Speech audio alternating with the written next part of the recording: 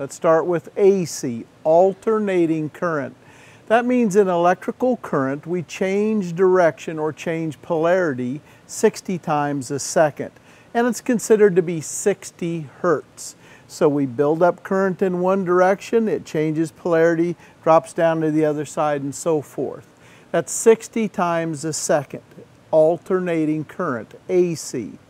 So now let's talk about MFDC, medium frequency DC. Medium frequency DC is what's being used more and more today.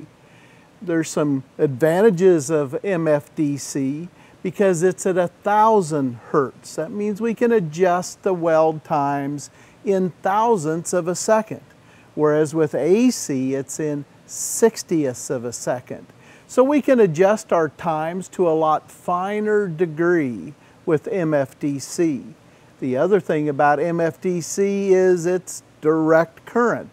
That means current always travels in just one direction. Now that can make a difference in some of your welding, so you really need to evaluate which one is going to work best for you. But there's also something else with MFDC, and let's take a look at what we're looking at here.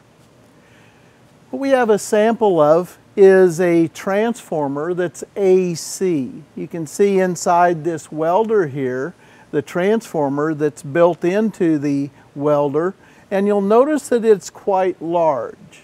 Well, right here we have one that's MFDC. Notice the transformer is much smaller. So because of that 1000 hertz, we can have a lot more compactness in the size of our transformers. And that might be a consideration when you're talking about the design of the welder or the application that you're putting it in.